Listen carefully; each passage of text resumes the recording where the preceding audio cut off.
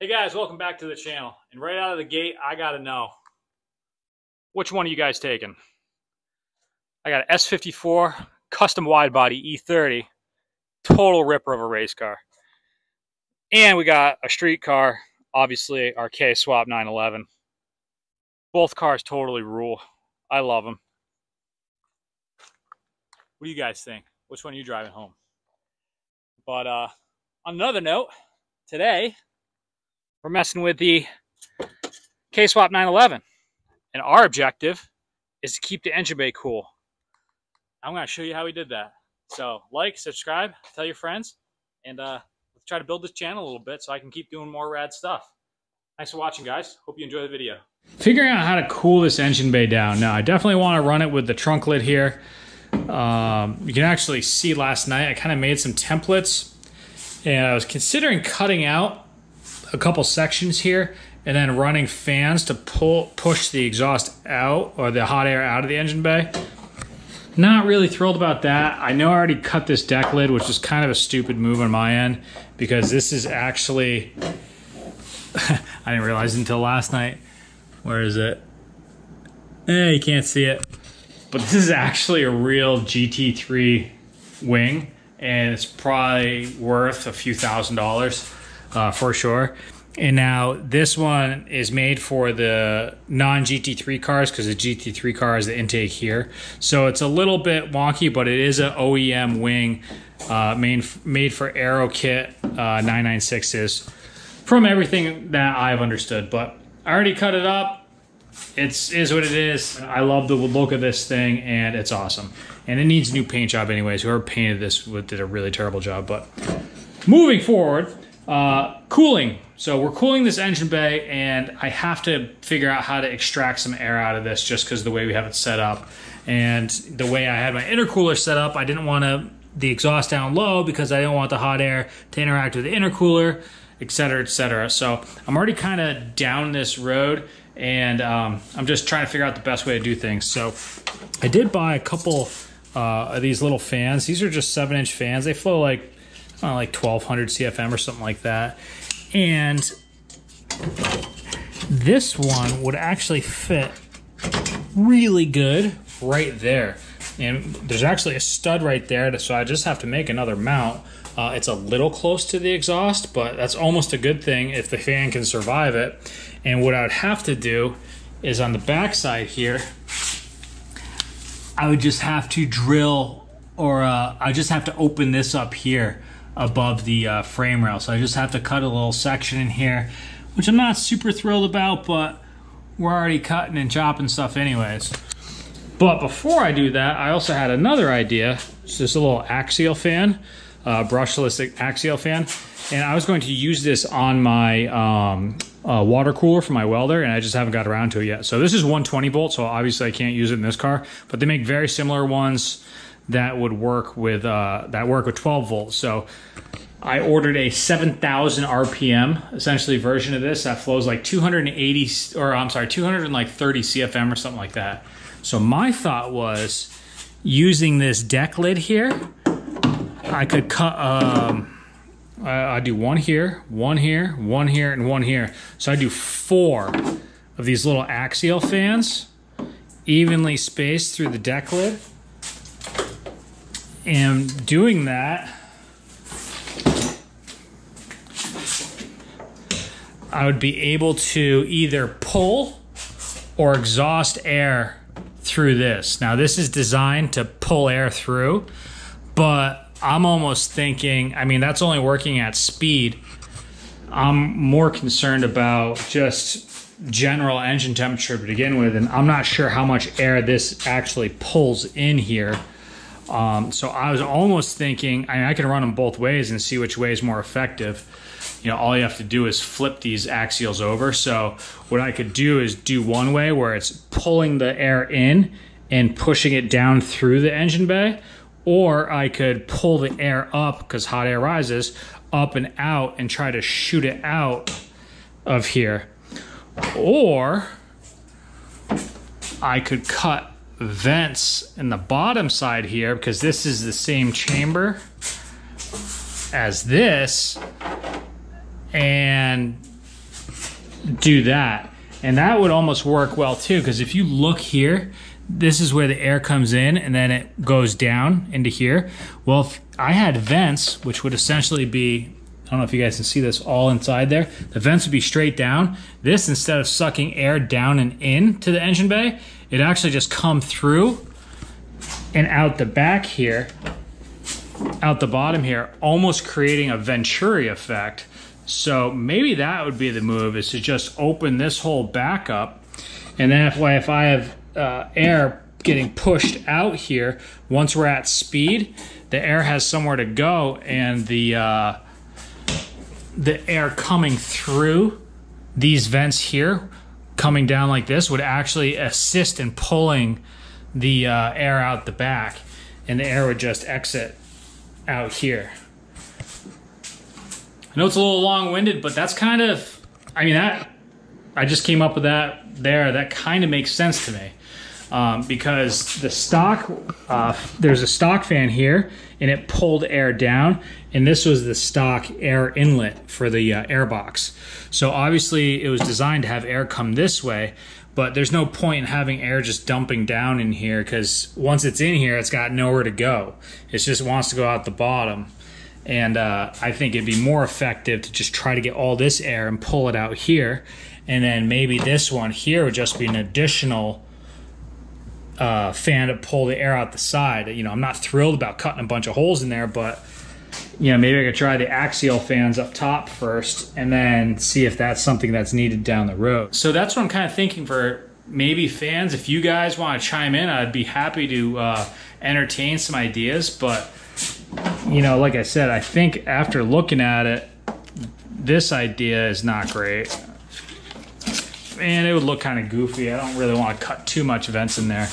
But cutting vents in here, like I said, which is this same chamber up in here might be a good idea. It'll give the air somewhere to go. So here's my little template here. And all I did was I just took a piece of my daughter's, uh, just a crayon for her, and just did a do a rubbing of the uh, of the area that you want to get. So now we'll pull this off, and this will be our template to uh, transfer to, I'm probably just gonna make it out of cardboard real quick. Check this out, guys. So we got all six of them here, and I just have them temporarily wired up. Let's uh, let's get these fired off. Let's get these fired off and see what it sounds like and see how much air it feels like it's flowing. I think it's gonna be pretty nuts.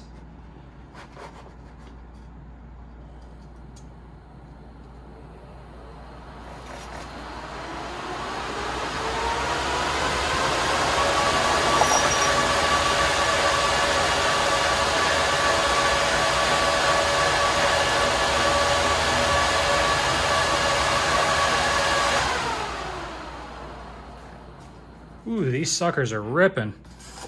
Start blowing the boxes out of underneath and everything. So that's pretty awesome. I'm pretty stoked about that. Um, the only thing is it is loud, but I'm wondering once it's in the engine bay, once the car is running, if it's even going to be that obnoxious. Um, so I will, uh, let me get these somehow fastened kind of just up in the general area. Or honestly, I can just place them in here and just kind of close the trunk lid and fire them off just to see what it sounds like when they're in the car. So um, got to keep in mind, I almost got my uh, radiator fans running, which are very loud, the stage two fans. Um, so it might not be that big of a deal, but uh, they definitely pull some air, that's for sure. I mean, these things are ripping. Um, and they will definitely fit, um, they will definitely fit up in here for sure.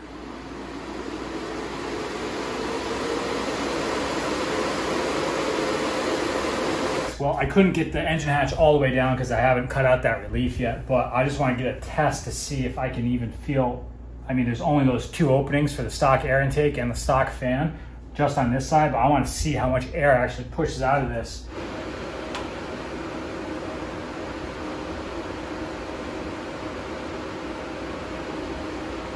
That's pretty good representation right there, you can see and it's only getting air from just a couple, probably only three of the fans are even doing anything.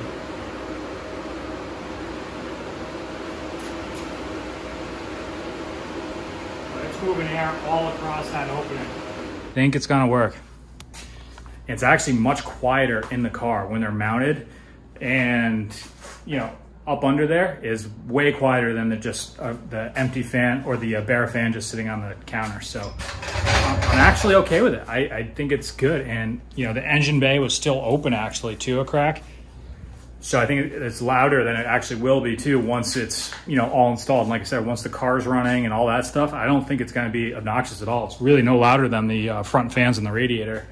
So I think I'm going to run and gun with this idea.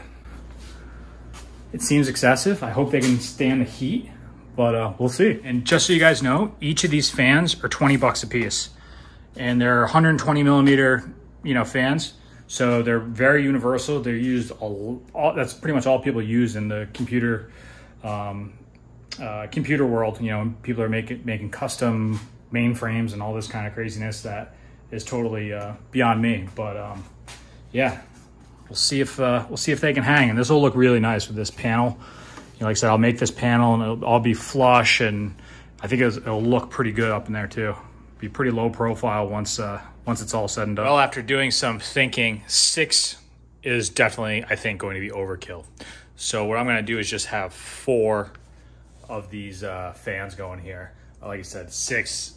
Uh, there's only so much surface area. You know, going to be here and here and obviously here that the air can exit and six is just that's going to be too much so not a big deal um, I can uh, take one of those uh, fans and put it on my oil cooler here which will definitely help and then I almost had an idea I'm not sure how well these are going to hold up to weather heat and vibration um, these are not really made for like exterior all weather type of situations. So this is gonna be a little bit experimental. They do make ones similar size to this that are, they're like 40 bucks a piece that are waterproof, quote unquote, but I'm not sure. You know, like I said, we're just gonna play it by ear and just figure out how this is going. But um, anyways, you know, I can pop one of these guys, you know, shroud it and put it on here or something like that, or put the other two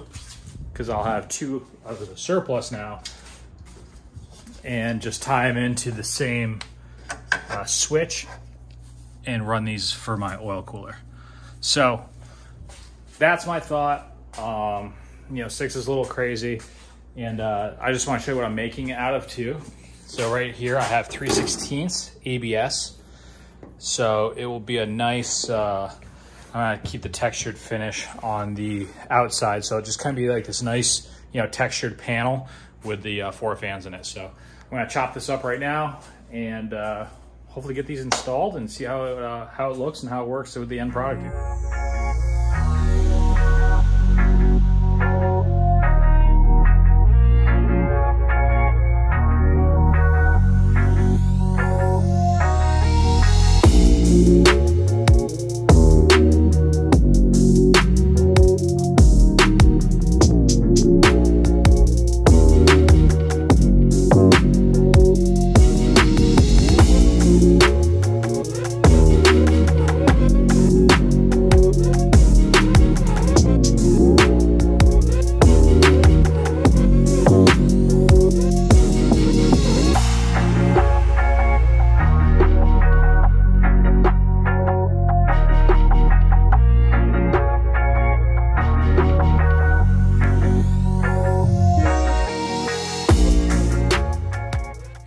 ABS all in place. And now I'm just going to mark out just the edges here so I know how far to cut. I don't want to cut any more than I have to.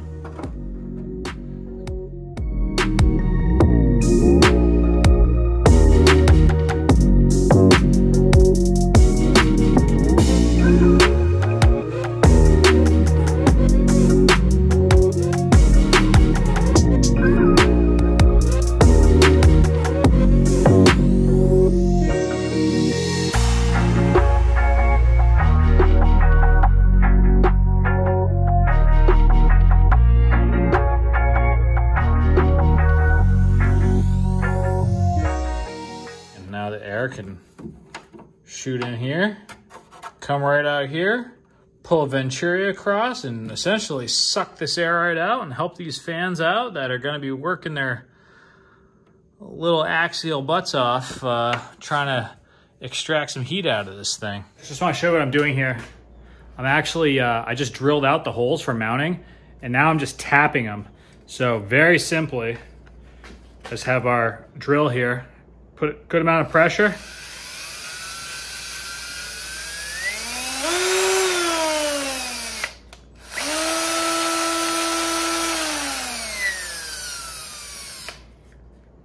there we go.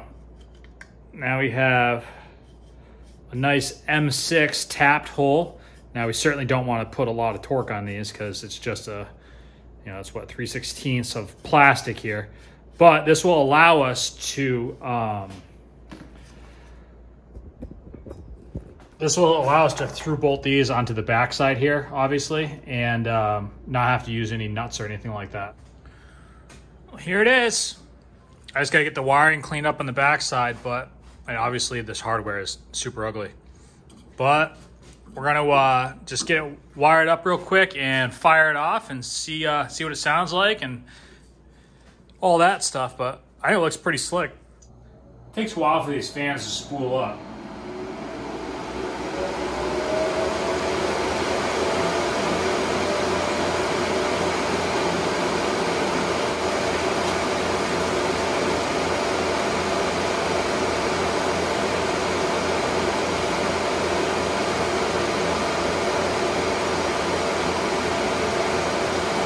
So as long as these fans can stand the heat and the vibration, I think this is going to be the move.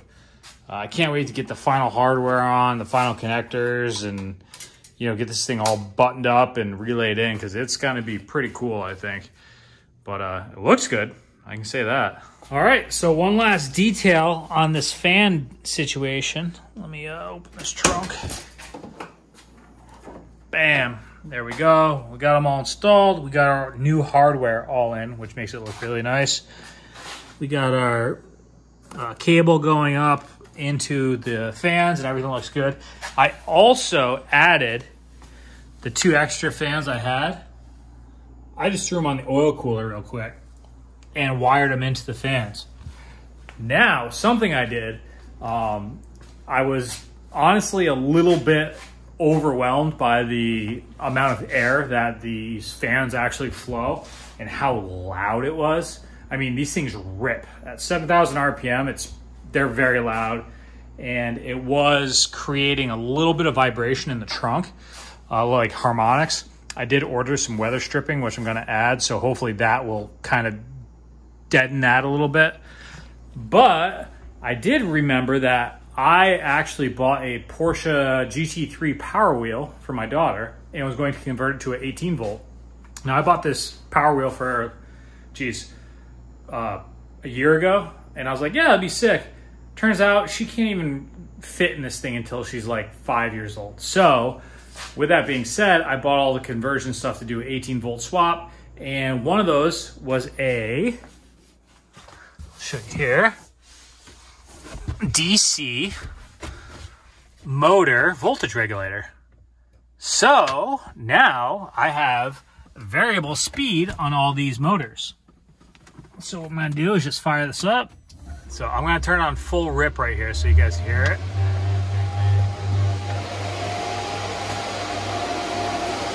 So this is full speed.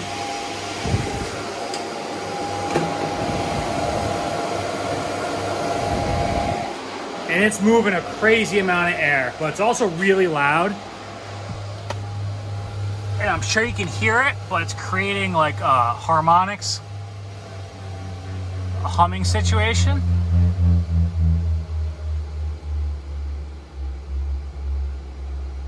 So we're just gonna dial it back. and Listen to it now. It's still moving a ton of air. I mean, it's you know, obviously not as much as it was before, but now I can get it dialed in. So I just thought that was a good idea. I had it laying around, and now I can, you know, obviously regulate uh, what these fans spin at. So I think we'll start off with this, see how it goes. But it's really the harmonics that in the cabin that gets it.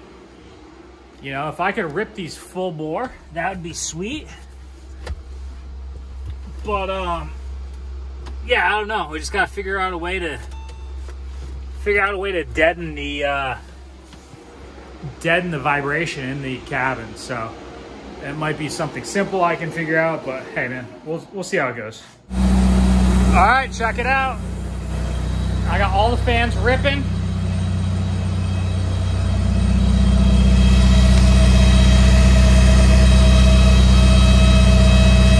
Oil cooler, oil cooler's hot, but those fans are really pulling a lot of air out. And these, these are just amazing. I got so much heat getting pulled out of here It's been idling for about 15, 20 minutes now with intermittent revving. Before, I wasn't able to put my hand on here, it was so hot because the exhaust is obviously right here. And this would just heat up so much that it was just so hot. But uh, yeah, these fans are just blowing air like crazy. Obviously, this side's a little hotter than this side. Let's check this out too. I'm running my AC now. We got 70 degrees coming out of the, uh, the system here, which I'm pretty happy with. Got my trusty meat thermometer. I'm gonna stick this in the engine bay with the fans running now. See what the temperature is in the engine bay. All right, it's been in there for about five minutes with the fans running. Oh.